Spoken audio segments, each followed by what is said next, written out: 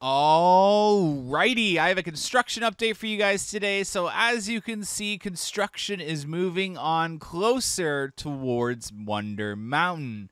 Um, they were first thing in the morning getting set up, getting ready to do the left side of Extreme Skyflyer's plot of land. So, on the other end of the globe, or right now, the pumpkin. Um, they are, for the most part, done the actual caissons, so the ground part of a footing. Um, so now they're just going to insert uh, the threaded rod and pour more concrete, and the footing will be complete.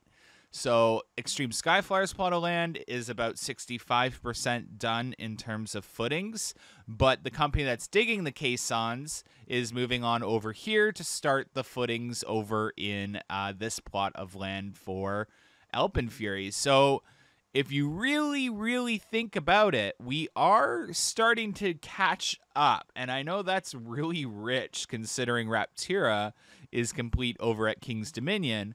But there's uh, something you guys are forgetting. So the track segments for this ride are a lot lighter than building a B&M coaster. Um, and this coaster, for the most part, is very low to the ground. So when they're actually doing the uh, erecting of Alpenfury, it's going to be a lot quicker of a process than we typically are used to. In fact, if you recall Rapterra, it went up really quickly as well, even with those big, heavy track segments. Because there's a lot lower to the ground segments, it's a lot easier. There's a lot less time in between each track segment and less fighting the elements when you're working so close to the ground. So while it might look like we are significantly far behind, um, we are nearing around the 50% mark of footings. And when they do start erecting this coaster, it is going to go up, if I had to make an uneducated guess, okay? An uneducated guess they could potentially have this coaster erected from start to finish in a three to four week period. So that and that's just a, a, wildly uneducated guess there. Okay, so please do not hold me to account. But based off of what we've seen previously and how low to the ground this coaster is, I am hearing that it is going to be extremely easy to erect it. Um, so don't fret, don't worry. I'm gonna keep holding out hope that this coaster isn't that far behind. Um, but as you can see there, there is still a lot more tree removal going on for Alpenfury. You'll see it across from Wonder Mountain's Guardians Lift Hill um, when you go into the park today.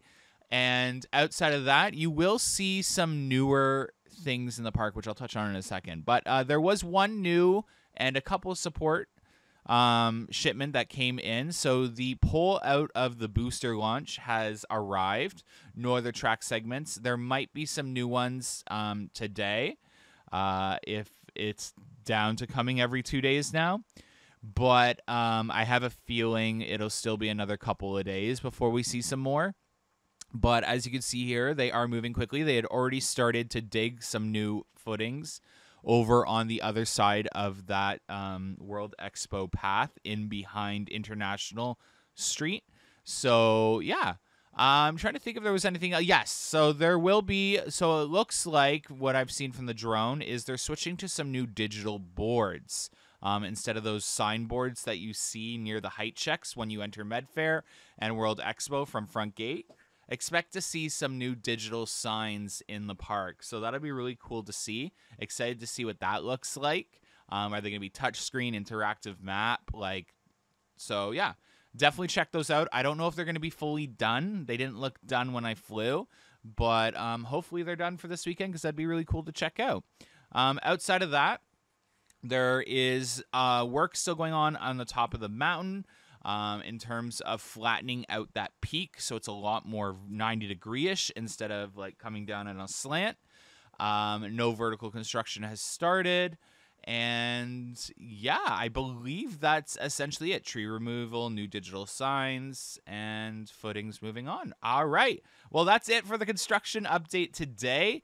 Um, obviously, we'll have an in park update for you guys tomorrow. And thanks so much for watching the channel and have a good haunt weekend.